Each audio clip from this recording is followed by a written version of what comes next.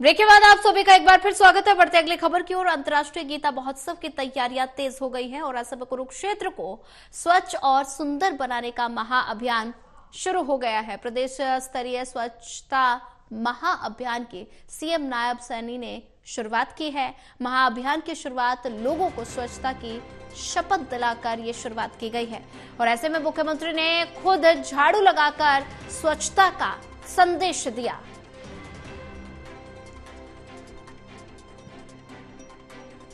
प्रदेश स्तरीय स्वच्छता महाअभियान के सीएम सैनी ने शुरुआत की है। महाअभियान की शुरुआत लोगों को स्वच्छता की शपथ दिलाकर की गई। और ऐसे में मुख्यमंत्री ने खुद झाड़ू लगाकर स्वच्छता अभियान का संदेश दिया।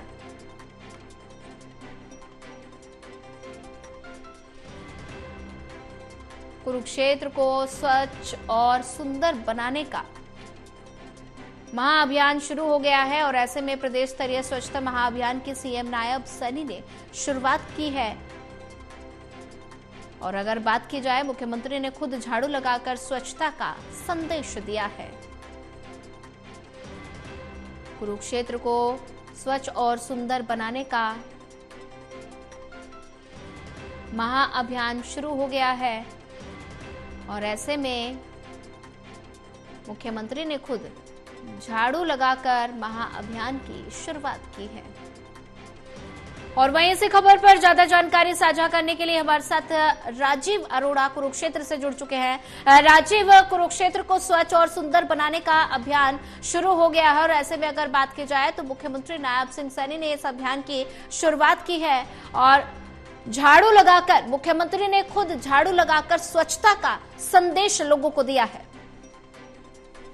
जी, बिल्कुल। देखिए, कुरुक्षेत्र में जो है, आज राज्य स्तरीय स्वच्छता अभियान की जो है, शुरुआत की गई है। मुख्यमंत्री ने जो है, लोगों को स्वच्छता की शपथ दिलाई और खुद जो है, झाड़ू लगाकर जो है, स्वच्छता का संदेश दिया है। उन्होंने कहा है कि हमें जो है, स्वच्छ भारत स्वच्छ भारत की तर्ज पर जो है, स्वच्छ हरियाणा स्वस्थ हरियाणा बनाना है और जो हरियाणा के कुछ शहर जो है अभी चौदहवीं पायदान पर है लेकिन इन्हें जो है टॉप पायदान में जो है भेजना है। टॉप पायदान में जो है जगह बनानी है।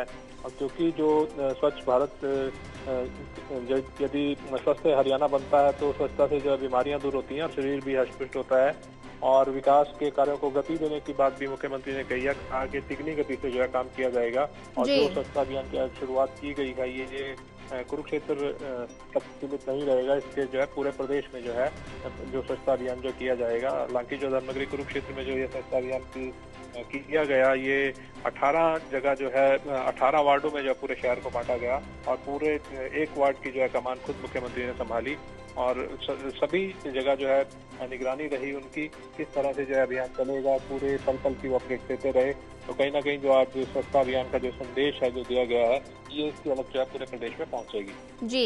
राजीव अरोड़ा जी, अगर बात की जाए तो कुरुक्षेत्र में अंतर्राष्ट्रीय महोत्सव की शुरुआत होने वाली है और इसी को देखते हुए कुरुक्षेत्र को स्वच्छ और सुंदर बनाने का महाअभियान की मुख्यमंत्री नायब सिंह सैनी ने शुरुआत कर दी है। ऐसे में अगर बात की जाए तो ऐसे में अंतर्राष्ट्रीय महोत्सव को लेकर प्रशासन की और क्या कुछ तैयारियाँ?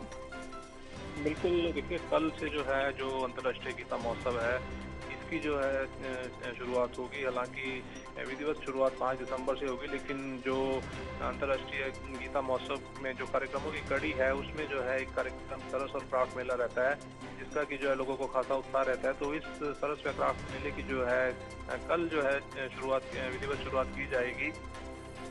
शुरुआत में जो है, जो प्रदेश के राज्यपाल हैं, वो सरस क्राफ्ट मेले का शुभारंभ करेंगे। जी राजीव अरोड़ा ज़्यादा जानकारी साझा करने के लिए आपका धन्यवाद।